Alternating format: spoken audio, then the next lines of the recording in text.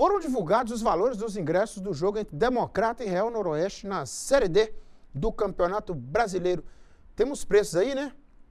A partida será no domingo às quatro da tarde no Mamudiabas, Mamudão.